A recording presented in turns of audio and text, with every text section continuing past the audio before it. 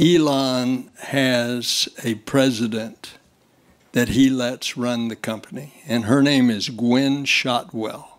When someone said women and machinery do not mix, that is not certainly true of SpaceX. SpaceX's success is often associated with Elon Musk's face, but he couldn't have gotten this far without the support of his right hand woman, Gwynne Shotwell, the president and chief operating officer of SpaceX. In particular, Shotwell is also called the secret sauce behind the success of the Starship rocket, making Elon's dream into reality. Let's express our admiration for this talented woman through today's TechMap episode. But before we begin, let's subscribe subscribe to the channel to stay up to date with the latest space news. Gwynne Shotwell is the President and Chief Operating Officer of SpaceX and is responsible for day-to-day operations, including production, launch, sales, mission management, and finance, as well as managing all customer and strategic relations to support the company. In short, she's in charge of selling rockets and dealing with Elon Musk. Shotwell is widely regarded as the secret sauce behind the company's remarkable achievements. Her strategic leadership, technical expertise, and ability ability to translate Elon Musk's ambitious visions into reality have been instrumental in SpaceX's rapid growth and success. Under her leadership, SpaceX has expanded exponentially, boasting a workforce of over 13,000 employees and achieving billions of dollars in revenue annually over more than two decades of development. This growth trajectory underscores Shotwell's managerial prowess and strategic acumen, ensuring SpaceX's sustained trajectory toward innovation and excellence in the aerospace industry. Most notable is her her contribution to the Starship program. The Starship rocket has been growing at a breakneck pace so far as it prepares to embark on its fifth test flight, marking the first time it has been caught by the giant Mechazilla tower. When mentioning Starship's success, many people immediately think about the technical achievement, but a factor that is not less important is finance. Begun in 2012, Musk estimated that the Starship program would cost between $5 billion and $10 billion to develop. This year alone, SpaceX planned to pump some $2 billion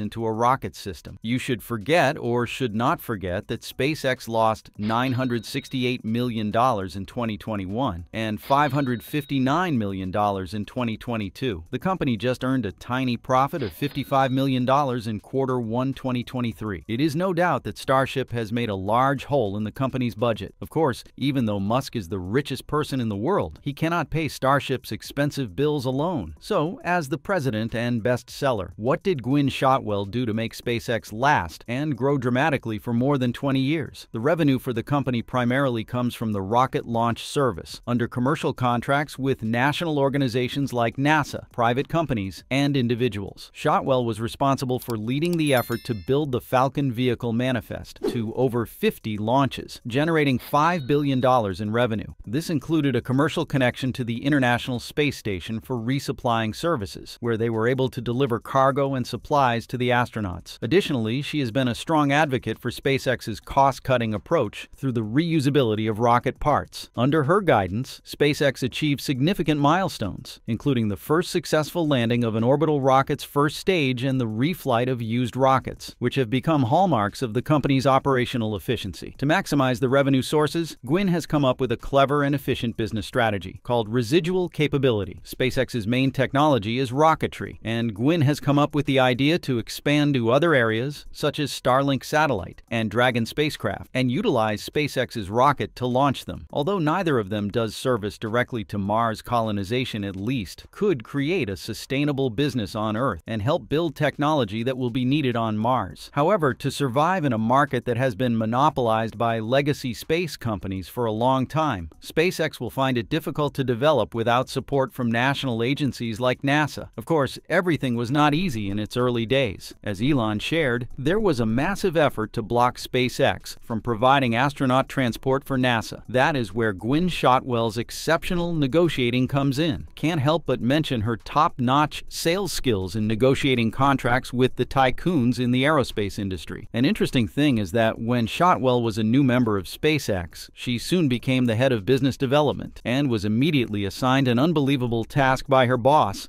selling some rockets that did not exist and had not flown before, of course. She began meeting with the United States government agencies and satellite companies to begin to persuade them to book launches on their still unflown Falcon 1 rocket. Somehow, the then young unicorn SpaceX landed its first contracts with agencies such as the Defense Advanced Research Projects Agency, a Malaysian satellite startup, and above all with a large national organization, NASA, not to mention a dozen Falcon 1 flights to other clients. All this happened before it ever reaching orbit. She is also the bridge for the long term close cooperation between SpaceX and NASA. To be honest, during his time as a senator, Bill Nelson's relationship with SpaceX was not good. His opposition was primarily aimed at Musk's eccentric ways and volatile behavior as the lead of a company that could potentially have a global impact. Nelson was tapped to lead NASA in 2021 and so far, his cautious attitude toward Elon remains. This is because Elon Musk's decision making has come under a lot of scrutiny in recent years regarding some of his other companies, X and Tesla. Take, for example, in October 2022, when Elon Musk made a tumultuous Twitter takeover, Nelson feared that this could affect SpaceX's operation. And the first person he immediately thought of was not Elon Musk, but instead SpaceX's president and COO, Gwynne Shotwell. A few months after Musk bought Twitter, though before he renamed it X, in late 2022, Nelson recounted to NBC News his relief when discussing the acquisition with the SpaceX president. Tell me that the distraction that Elon might have on Twitter is not going to affect SpaceX. Nelson recounted to NBC News that he asked Gwynne Shotwell. I assure you, it is not, Shotwell responded. According to Nelson, you have nothing to worry about. He also emphasized that the encounter ended up friendly because he knows Shotwell, not Musk, is running SpaceX. I hugged her with a smile on my face because I know she is running that thing. She's running SpaceX, Nelson said. Asked whether he has any concerns about SpaceX, Nelson said, No, I don't. Unlike a lot of other SpaceX employees who grew up fascinated by rockets. She wasn't. Born in Chicago, she is the child of an artist and a brain surgeon. Per her mother, she wanted her to become an engineer, but Shotwell thought those people just drove trains. So, to help her daughter understand what they do, her mother took her to a Society of Women Engineers event. For the first time, she met female engineers, and the beautiful suits they wore fascinated her so much that she wanted to one day become a mechanical engineer like them. Her educational journey started with Northwestern, where Shotwell studied mechanical engineering with a minor in economics, as well as a master's degree in applied mathematics. Her original plan was to work in the auto industry and began working for the Chrysler Corporation in engine research, a job she initially enjoyed but later found tiring with its many levels of highs of approvals and rules limiting productivity and innovation.